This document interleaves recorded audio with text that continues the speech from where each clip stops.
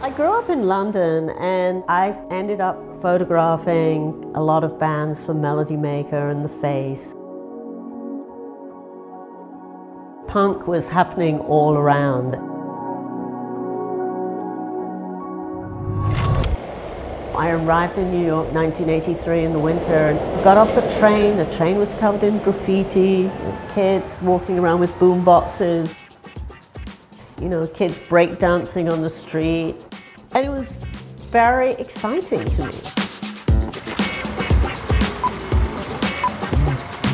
I got a lot of commissions from these British magazines. There was this new genre of music happening and they wanted photographs. I photographed some of the biggest names in hip hop. I felt like I was in the middle of documenting history. Come to New York, there's so many different diverse people here. We live pretty close together, demonstrating and being together, you know, with one voice is not such a different thing. I felt compelled because of the injustices that were going on to go out with my camera.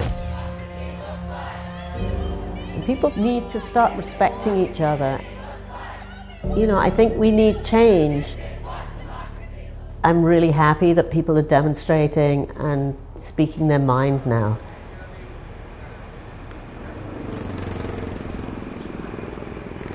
I have to say the camera gives you an incredible entree into people's lives.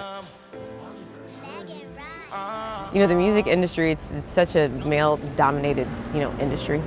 You know, people used to tell me that I'd have to cut my nails, you know, the DJ, and I'd be like, no, I don't have to do that. What nails are you doing? I was making the money one. Megan is awesome, and hip hop has traditionally been a kind of man's world in a way, so I have a lot of respect for her. Today we're going to start off doing some kind of gritty lighting that I think, you know, is going to emphasize her power and attitude. Reminded me a little bit of when I shot Salt-N-Pepa, like a woman realizing and understanding her power and being able to express it. I've never done a shoot like this because obviously with COVID, everyone's masked up doing it on Zoom. Sounds like a lot, but it's working. And Janette is so easy to work with. I didn't know what was happening with you. You're like such a natural. Oh, thank you. I can't believe it. All my shoots are collaborations and I always want people to be who they are and capture them as they are at that moment.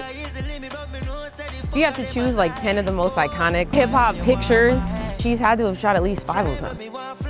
To know that it is a woman behind those images is incredible. I couldn't be, you know, any more honored to, you know, have her shoot my pictures.